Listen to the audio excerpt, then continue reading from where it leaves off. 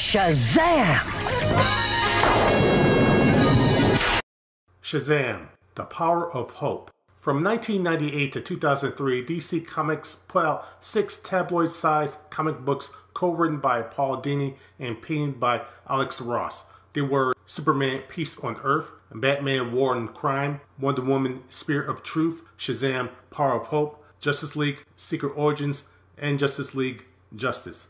Each in the collection focus on a single defining trait of each character. I know it's cliche to say, but this story shows just the kind of hero Billy Batson is as Captain Marvel or just as himself.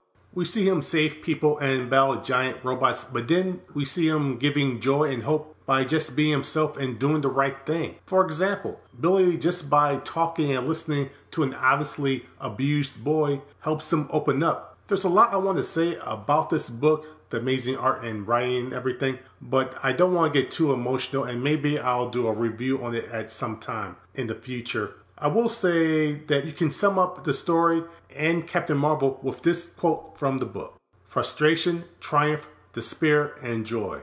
The memories of those and a thousand other childhood experiences stay with me as Billy Batson and as Captain Marvel. It makes it easy for me to relate to children.